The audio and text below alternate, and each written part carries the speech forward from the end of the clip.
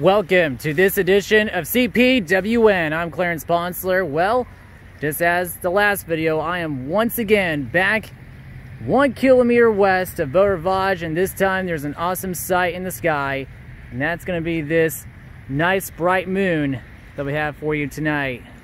We're going to refocus the cam, so excuse us for, there we go.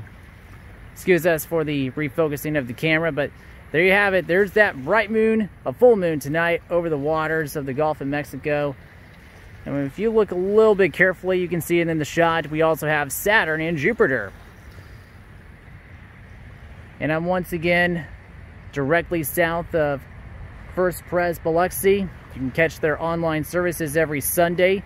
There's a link to, to their YouTube channel in the description of this YouTube video.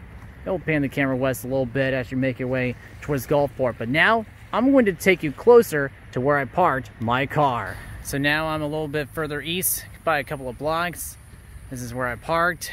And now, this is the White House Hotel. You can see, so I'm adjusting the focus on this camera. I'm also to zoom it in a little bit, just to give you an idea of the, of the sign that says White House Hotel couple of clicks just to try. There you go. There you there you have it. White House Hotel.